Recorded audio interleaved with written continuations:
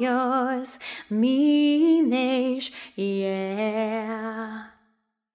One happy birthday dot com.